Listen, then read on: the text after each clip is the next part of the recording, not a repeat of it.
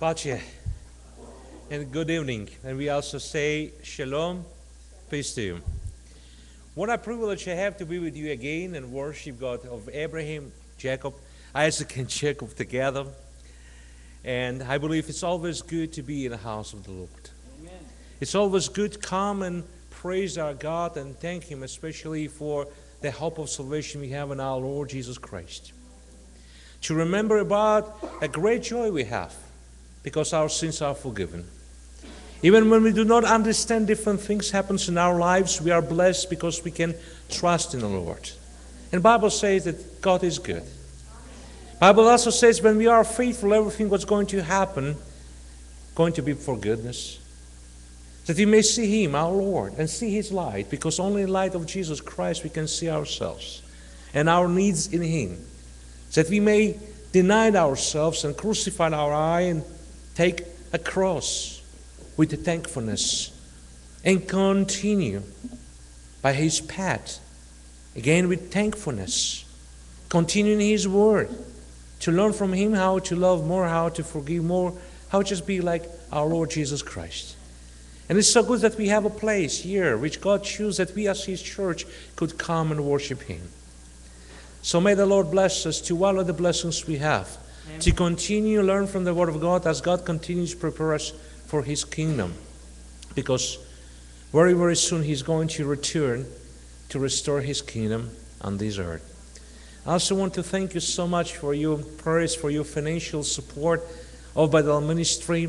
Maybe a little more than one year ago, I came first time and I shared about ministry, reaching Jews and non Jews in America and Canada.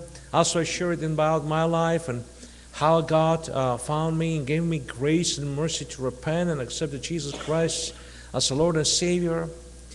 So I want to again remind you that God wants to use you to proclaim His glory in Chicago. And I want to read a couple verses from Bible from Romans chapter 10. I'm going to ask my brother pastor because I don't have Romanian Bible. I wanted that he read from Romanian Bible just two verses from Romans chapter 10 verses 14 and 15. Romans 10 14 and 15. Dar cum vor chema pe acela în care n-au crezut? Și cum vor crede în acela despre care n-au auzit? Și cum vor auzi despre el fără propovăduitor? Și cum vor propovădui dacă nu sunt trimiși? După cum este scris, cât de frumoase sunt picioarele celor ce vestesc pacea, ale celor ce vestesc Evanghelia. Amin. Amen. Does God love Chicago? What do you think? Amen. Well, why do you think that God loves Chicago? Because your church is here. Because you are here. Because God wants to use you to proclaim His glory. You are responsible for this city. When God gave His great commission to His apostles, it's not just for His apostles, but I believe He gave this a great commission to all of us if you are children of God. You call yourself as a children of God? Sure, you're going to say yes because you are born again Christian. If you are born again Christian, you should remember day when your life changed. Again, I want to remind you that God wants to use you. Don't be ashamed, don't be scared, don't be afraid, but tell others about Jesus Christ. I just want to encourage you because it's very important. Don't forget that so many people in your city they live, they die, and if they die without Christ, they die forever. And I want to encourage you, share gospel. I'm not talking now about to move Africa and Asia, do a full-time missionary work there, or maybe in other places. I just, I just preaching that, you know, if you are a Christian, you should have inside of your soul this wish to tell others about Jesus Christ. Even when we work very hard and we are very tired, anyway, we go to grocery stores and buy food, right? Milk, bread, when Acacia is scanning your food, you have one, two minutes to tell about Jesus, right? We can say te iubește, right? We can. I love uh, ice cream, McDonald's, and I'm blessed, especially in new weather here, so cold. I stay inside of my car and I buy my ice cream through the window. I give them my credit card and receive ice cream, but I have a couple of minutes to tell about Jesus. So many Muslim people own gas stations in your city. We can tell them too. We don't need to fly China. I have a lot of uh, uh, Romanian friends, and they feed me very well always. But sometimes I go to Chinese buffet. So I don't need to fly to China, but I can meet Chinese people in Chinese buffet and tell them just a couple words in Chinese language. Isu Sinju means Jesus is the Lord. Could we learn a little bit in Chinese? What about Arabic? What about Farsi? What about Russian? Could we just learn just a couple words to tell people about Jesus Christ? We know that Jesus Christ is only the way to be saved, brothers and sisters. No other ways. No other ways. It's only way. So you're Jew without Christ, or Muslim or Buddhist, whoever you are, if you don't have Jesus, you don't have a hope. And it's not my judgment. It's what Bible says very clearly that it's only one way to be saved. Sure, we cannot save people. Only God can save. Jesus can save. He is God. But we can tell people who can save them. We can tell them about Jesus and maybe give them Bibles. Our ministry, we, we love, we prefer distribute Bibles in different languages because we believe that only Word of God can bring people to salvation. In the streets or malls, in Chicago we do work in the malls and the streets, and a couple of few brothers, I don't know, is not here tonight, but uh, last uh, here, they helped me. You people helped me. Went together to the mall, uh, Woodfield Mall, I don't remember which one, but they saw, you know, we go to the malls, we buy a cloth, cloth, right? So stop at a kiosk. Israelis, a lot of Israelis, a lot of Arabic people from Afghanistan, some Romanian, you know, they have a business, a small kiosk. Sell cosmetic from Dead Sea or toys or different things, just to stop it and tell about Jesus. Sometimes we're going to think, so what about? So if I'm going to tell, what's going to happen? We don't know. Because I'm not trusting uh, by myself. I don't have any power. But I trust into the Holy Spirit, to the power of the Holy Spirit. I know if I'm going to pray for people, it's going to work. Because I know that God saved only, uh, God saved me only by His mercy, only. Nothing good wasn't me, but He saved me. So I can pray for people even whom don't I, whom I don't know. And I ask the Lord the mercies upon them. Because I believe that God can save whoever, whoever He wants to save. A lot of opportunities. Isaiah, when he heard, when Lord asked, Who'll come for us? Now I have a question. You think God needs our help? But he asked, right? And Isaiah heard, Who'll come for us? Isaiah responded, Here I am, send me. Because it's for us, it's our privilege, to be a part of God's plan of God's work on this earth. It's our blessing to be a part of great God's work in Chicago, Illinois, where so many Romanian speaking people live, and so many Romanian speaking people don't know the Lord Jesus Christ. How many Romanian people live in the Chicago area? 10,000, 20, 50? More? How many churches, evangelical churches, do you have? How many believers, born again believers, as a members? Much less, right? So where are others? And you are here. I cannot speak Romanian, I just know a couple words. But you are here. You are here. Just uh, open your heart. Make yourself available, and you're going to see how God going to use you to proclaim His glory. It's what we see through our ministry. We are very small. But God bless us that we now share gospel of Christ in nine states. We don't have any base, the financial something, but if God could, could use us, sure He can use you. He can use you to proclaim His glory in your city. We started a new ministry in Canada, and we are very blessed. Sure, it's a very tough, very hard to share gospel, especially to share to the Jews about Jesus as a Messiah. We're hard. But we always have a joy in our hearts. And we see how people repent. Most people reject, they, they, they decline. But we know that even one is important for the Lord, right? We just read these two verses. God already, He wants that we go. He, he sent us as uh, His children. But the biggest problem we have, we don't want to share. We don't want to share. We're. But I always ask, could we maybe find 20 minutes in a month? Dear youth, I don't want to criticize you, but sometimes I don't like a coffee, but my wife likes coffee. And Starbucks coffee, we see a lot of youth from churches.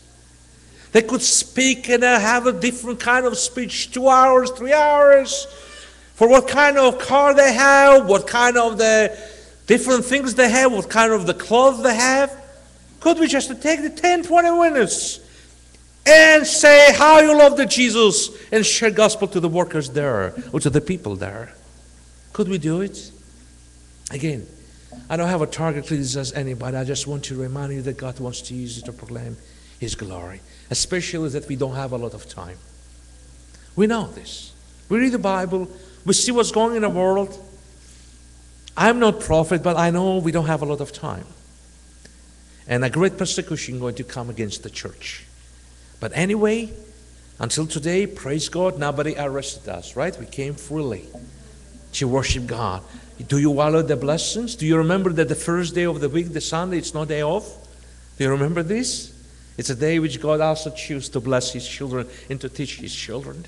So value the blessings. So many our brothers and sisters today under persecution in different countries. Do you remember them? Do you pray for them? Don't miss your services, but be wise. To be wise, ask Lord for wisdom. Because Lord gives wisdom. Ask. And Lord wants it. We ask. It's good. To ask Lord for wisdom. To ask Lord for faith. To seek His kingdom first and be thankfulness, especially for salvation in Christ. To seek to have a heart according Word of God. Again, thousand people could say to you that we don't want to hear gospel. Yes. You know, some people try to, we're going to watch a couple minutes, just to, some videos. I'm going to start just to share with a couple testimonies. Sometimes they want to hit you, uh, beat you. You know, different things happens, but again, if not we, who? Sure, a lot of people are going to say they don't want, but you continue. Be encouraged and remember that Jesus himself didn't have a lot of disciples, right? All people, all Jews repented? No. No, he didn't have a lot of disciples. But he also says, when two or three comes, come on his name, he's between. It's the most beautiful we have. That his promises. But we need just to obey his word and just to remember. So beautiful, so good to tell others about Jesus Christ. So beautiful, so good to pray for people, even who maybe hate us, but to bless them according to the Word of God. Just to be like Jesus Christ our Lord. So we continue. Even ministry is very hard reaching Jews, Muslims. I am myself from Jewish Muslim background, but God gave me mercy. I remember my life. And you know, God bless us last time in Chicago. Uh, and uh, we went to the plaza streets, shared the gospel, went to the mall, shared the gospel, met people from different countries. And it's always good to proclaim glory of Christ. San Francisco, one of the cities where, where we operate, very hard because a lot of gay there. I heard that 65% of the people who live in uh, San Francisco, even more, are gay. Could you imagine? But San Francisco is a city where, uh, you know, like it's kind of like European city, you know. And I don't know, I, again, I say, I, am from no prophet, but last time, I just a couple months ago, have been there, and when I drove through the streets, I saw city under the water. I saw that, that, that the water covered, all this ocean covered the city, totally destroyed. I saw this. I don't know how to explain you how to tell you, but I saw. I don't know how, but I saw. And uh, a lot of Jewish people live there, and we go to the streets there. We try to use the public ministry now more. I mean, like a public witnesses. And I remember I met a woman, American woman, and I stopped her, and woman in middle age, and I'm telling her, I have a wonderful news for you. And she stopped. I don't know what she thought I'm going to tell her, but she stopped and asked me, what kind? I told her, Jesus loves you. And she responded, Ah, I don't want to copy her, but she didn't like what I said to her. And she started to walk, and I started to continue to say, Dear woman, Jesus loves you. And she showed me a middle finger. So it happens too. Happens too. Another woman whom I met, uh, Turkish from Iran, Muslim, older woman, but she was touched. She opened her heart to receive the Gospel of John in Farsi language in Jesus movie. Another in Philadelphia, where we are three times in a year, I met a rabbi who told me that I'm a sick and I need to see doctor psychiatrist. And he offered me money, telling me, go buy medication, drink, and after your brain going to start to work well. You will become a real Jew. I say, I'm a real Jew now. Because be more Jewish to be believe in Jesus Christ. Another Muslim, she was sitting in her car and listening the Quran. You know the Quran, the Islamic is main book like Quran, a religious book. And she was hearing, uh, I'm sorry, listening about uh, the, the, the tape, whatever city. I came to her and started to witness, and she started crying. An Albanian Muslim repentant in Philadelphia, a Turkish Muslim in Seattle, in Sacramento, in the malls. Also, we met maybe 12 just a couple months ago. 12 Israelis, half of them accepted Bibles. But remember, so many people here in Chicago. We don't have this kind of opportunities in Cleveland. We are based in Cleveland, Ohio. But you have. But remember, even one is important for the Lord. Because price for one soul, it's the blood of Jesus. And just a couple more testimonies. I see that my time, I think maybe almost passed, or already passed, but I'll, I'll take just uh, two more minutes. Uh, and we wanted to show videos now. And when we show videos, God is my witness, I don't like to do it, but maybe it's good and we do more because some churches, they ask us because, you know, they want to watch it, they want to see it. But this is as examples for you. Again, you don't need to have a special theological education to witness. You don't need to know Hebrew. You don't need to speak Greek just to have an open heart. Just to have a heart. Sure, police could come, they try to maybe sometimes give you a ticket, maybe. You know, it's big problems here in the country. We see last couple of years, they try to stop the evangelization, different areas, even public. Simple gospel. Simple gospel. We could start from Portland, Oregon, it's just a month and a half ago. And with sound. So we witness, uh, we're witnessing there in the malls, and after we decided to witness publicly in downtown Portland. And um, we went with couple brothers from uh, Slavic Evangelical Church there. They just helped me, you know. And uh, you're going to see a group of the youth people who were under drugs, most of them. Always, always, when someone starts to do something for the Lord, opposition going to be always. Because devil going to try to stop it. Because devil doesn't want the people hear about the way how to be saved. But we know that Lord won, and we are part of the victory. We are part of the victory. But also we could, and we should we have to just to watch ourselves. But this is the video. So Portland downtown very European. People use the trains for public transportation. So we went there. We had a poster, maybe two posters from Bible. It's our preparation. Sure, we always we always pray that God blessed us, give us a wisdom, that God bless people. And now let's pray, say, Lord, even one, even one. But anyway, but God sent his disciples, he sent them to share. People have to hear it. And they going to make a decision.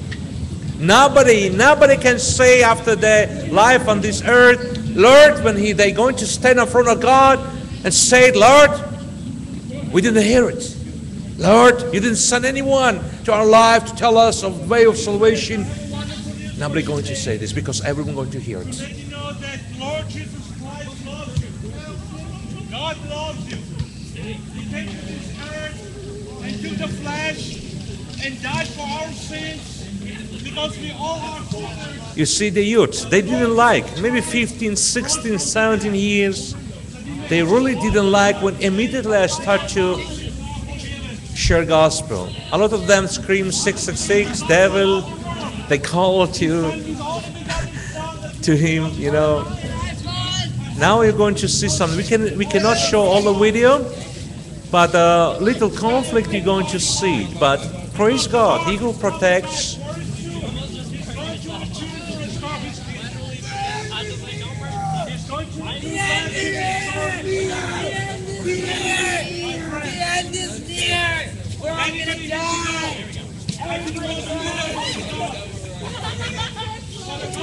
somebody going to take something from uh, ground and throw it at me. I don't know, stone or I don't know. I didn't see but it wasn't hit. It wasn't hit. They start to provoke us the, with the different questions, but he's dancing well, right? He's a good guy. they need to hear it. Please, next video. This is a Canada. We went to Niagara Falls and shared the gospel. So many tourists from around the world. This is a family from Pakistan, a Muslim family. You know, see, one of the member, she uh, has a problem with her back, couldn't walk. So just to share, you see my T-shirt? Could you read it? The sign? Jesus made me kosher. Yes, because only Jesus can make us clean and free. Let's pray for Zainab, okay? This is a Slavic evangelical church. The Lord I want to tell you that twice Canadian police tried to arrest me there, and I unfortunately cannot continue witnessing in Canada, Niagara Falls. They told me the third one going to be jail. I cannot witness anymore, but I, I can enter Canada and do the work in different places, but no anymore in the Niagara Falls. But what happened there? We met tourists from around the world, more than thousand people. We distributed a lot of Bibles. It was. Um, uh, July, August, I don't remember exactly, but anyway, last year. But anyway, we also used the public ministry witnesses. And what happened? When I shared, was sharing gospel, some people decided to stop, sit, and listen. And I saw two men, young and old.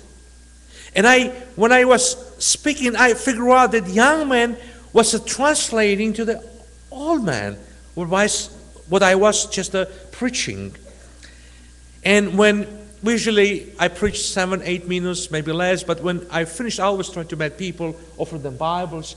So I came to these two men, and I figured out that they are from Iran, from Iran, and they are Muslims, son and father and son translated to father.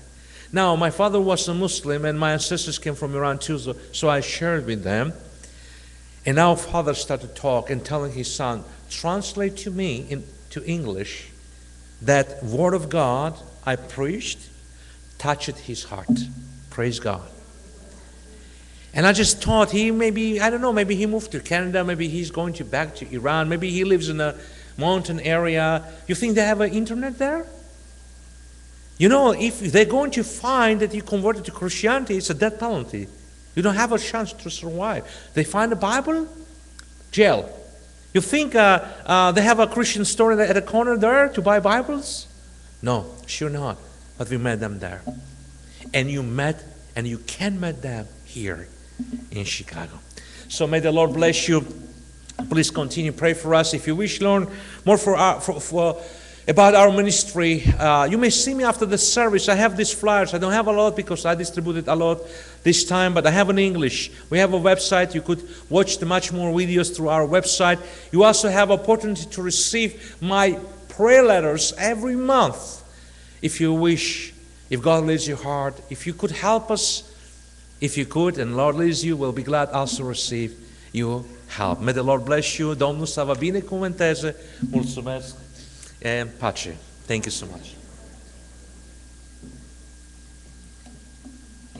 Mulțumim fratelui Igor, un om pe care Dumnezeu l-a chemat din, de la muslim și care, după cum ați observat, nu poate tăcea. Dumnezeu să-l binecuvinteze și să ne ajute și pe noi să fim martori ai învierii lui. Amin.